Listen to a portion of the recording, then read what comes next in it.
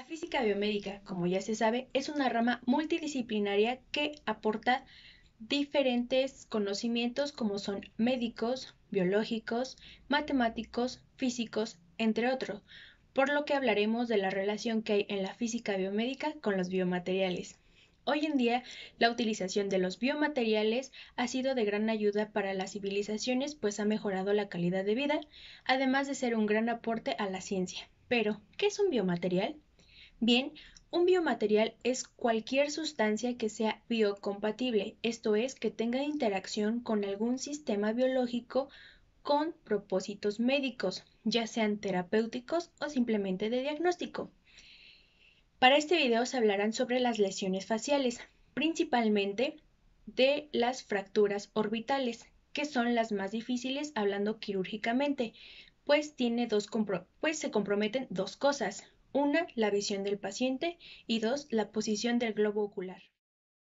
Estas dos resultan ser comprometedoras ya que las incisiones tradicionales que se hacen para reparar los defectos de la órbita presentan deficiencias para tener la misma funcionalidad del tejido nativo.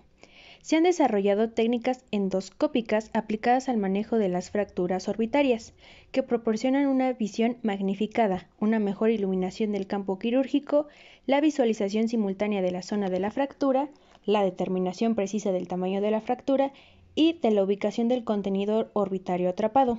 Además, permiten reducir la hernia de tejidos blandos y cubrir el defecto óseo. Las causas de, este tipo de lesiones faciales se presentan de diferentes maneras. Van desde accidentes automovilísticos, accidentes en los deportes, ya sea un codazo, un, puñetazo por error, en riñas o cualquier otra situación. También van desde caídas hasta lesiones penetrantes. Y bien, el dolor se va a presentar de diferentes maneras dependiendo del accidente que la persona haya tenido puede ser que sea intenso y penetrante o bien puede que no aparezca dolor en el momento, pero poco después del accidente se presenten moretones o ciertas hinchazones en las partes afectadas. Malla de titanio. Debido a su facilidad de manipulación, firmeza, no es inestable con el tiempo y puede ser fácilmente fijado al hueso adyacente. Tiene una alta biocompatibilidad, es fácilmente cortado en forma deseada, Puede ser fijado con tornillo al hueso, tiene buena resistencia y estabilidad a largo plazo.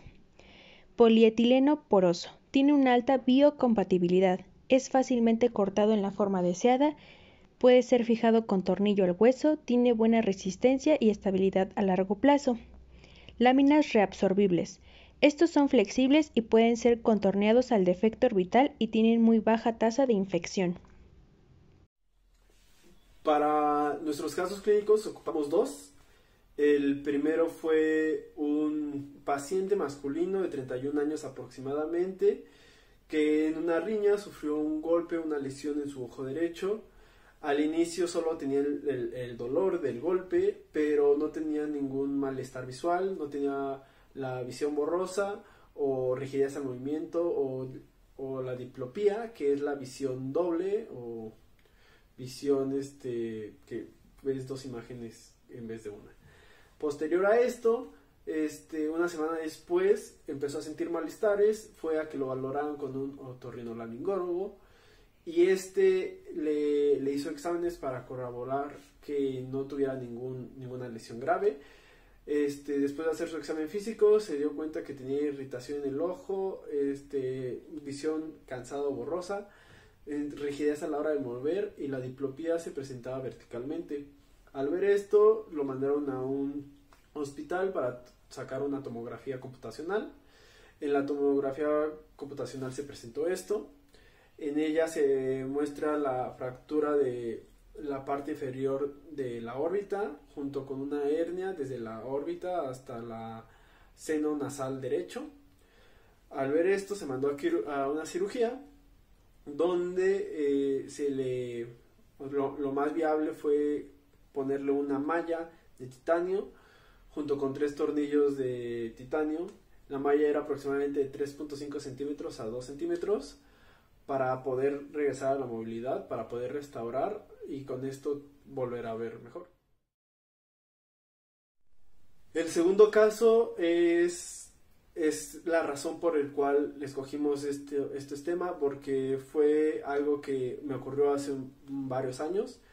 Este, fue en un juego de baloncesto, recibí un golpe de parte de un compañero, de, con su codo me pegó directamente en la cara, me rompió toda la órbita del ojo, la, la parte inferior de la órbita y el codo desvió completamente mi nariz. Al, al momento que sucedió esto, me dirigí al hospital en el hospital se me dio una valoración donde me dijeron que no podían operar en ese momento ya que estaba completamente hinchado, inflamado, lleno de sangre y tenía que dejar una semana en reposo para que la sangre se fuera de ese lugar. Este, a la hora de hacer unos rayos X me, se dieron cuenta que no solo habían roto la, toda la parte de la órbita inferior, sino que la pulverizaron entonces no se podía reconstruir, por lo cual se optó por una placa de titanio, donde me pusieron la placa junto con tres tornillos para que tuviera el soporte del ojo. Este, estas son las imágenes. Posterior a esto fue un momento de, de reposo y más o menos se fue viendo la mejoría con el paso del tiempo.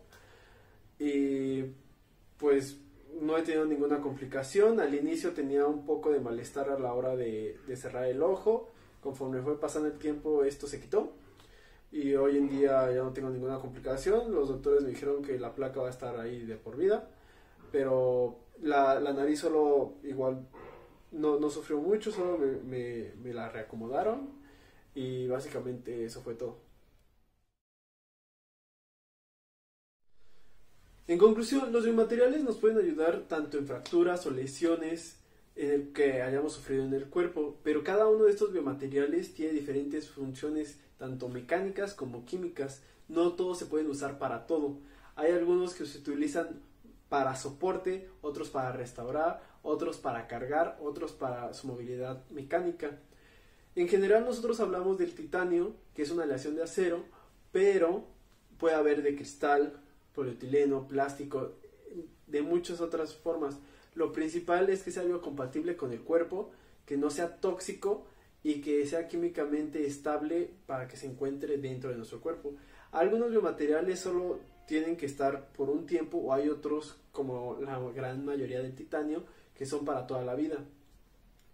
Uno de estos ejemplos es en el primer caso clínico donde podemos ver cómo se utilizó el titanio en una malla que ayuda a restaurar el músculo del ojo. Por otro lado, se encuentra mi caso donde se utilizó solo una placa con tres tornillos de titanio que sustituyeron al hueso de la parte inferior de la órbita para así no tener un desfase en el ojo.